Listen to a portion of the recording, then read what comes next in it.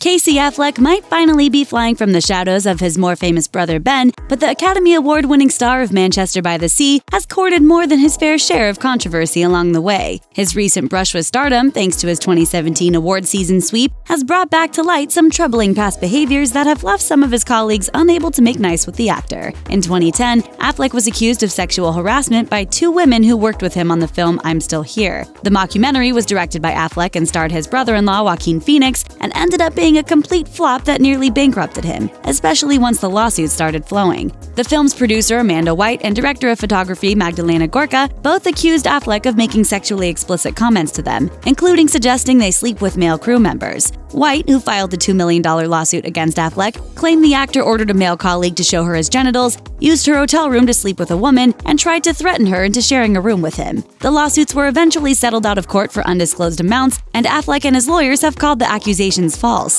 But once Affleck's star status began to rise, it was clear these allegations would not be overlooked by everyone. Here are some stars who still can't stand Casey Affleck. Brie Larson. As the reigning Best Actress who took home the top honors in 2016 for her performance in Room, Brie Larson was charged with delivering Affleck several of his Best Actor prizes the following year. And it was a very personal challenge for Larson, who is an outspoken advocate for sexual assault survivors. At the Golden Globes, she refused to even touch Affleck as she passed him his trophy. And while she was completely professional and polite about giving him an Academy Award shortly thereafter, her disdain was still very evident. Not only did she appear irked while reading his name as the Best Actor winner, but she also declined to clap for the actor as he accepted his prize. In fact, she stood as still as the statue she held until he came to the stage to collect it. In case there was any confusion about what her obvious lack of enthusiasm meant, she went on to tell Vanity Fair, I think that whatever it was that I did on stage kind of spoke for itself. I've said all that I need to say about that topic. Chances are you won't be seeing these two join up for a cinematic collaboration anytime soon, but Larson's was hardly the most overt objection to Affleck's Oscar win. Chrissy Teigen.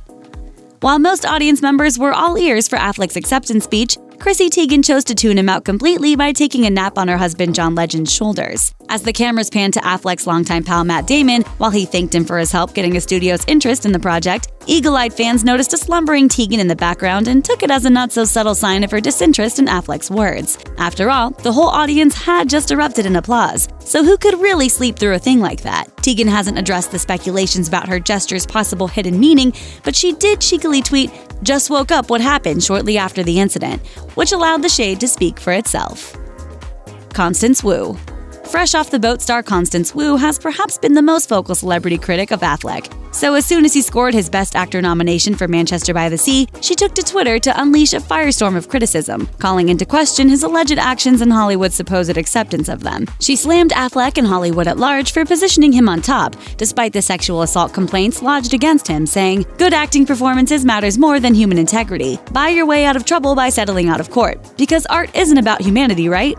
Even after she was reportedly advised against speaking out against Affleck for the sake of her own career, Wu refused to be silenced about just how much she despised him, saying, I'm a woman and a human first. That's what my craft is built on. Luckily, Wu wasn't alone in her outrage. Others, including BJ Novak and Heather Matarazzo, contributed some similarly spirited digital responses to Affleck's nomination, too. Stephen Colbert. The Late Show host Stephen Colbert might be a happy go lucky guy most of the time, but Affleck managed to get under his skin during a 2016 appearance by showing up in slackerwear. Affleck appeared on the program to promote the release of his crime thriller Triple Nine, and the tension was palpable as the two exchanged jabs about his style. Thanks for dressing up. I can't tell whether this choice is like the least celebrity thing to do or the most celebrity thing to do. It didn't take long for that comment to turn into a sparring match between the two. No, You're I'm not saying that at all. The, the but people often, I'm not rude at all. No, I'm just you're saying, implying I'm being rude. By no, not at all. A little bit. Things continued to disintegrate with Affleck even snubbing Colbert's offer of a conciliatory cup of water. And as Colbert continued to talk about his threads, Affleck got visibly incensed.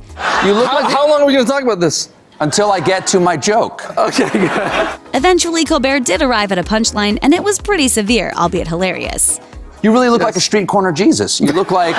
Eventually, Colbert changed the subject to the movie being promoted by the appearance, but that didn't do much to soothe the situation. You want to fight me? No. It feels like this is where this is going. The two managed to eke out a few more minutes of conversation by talking about other people and the movie in question, but the tension was still palpable all the while.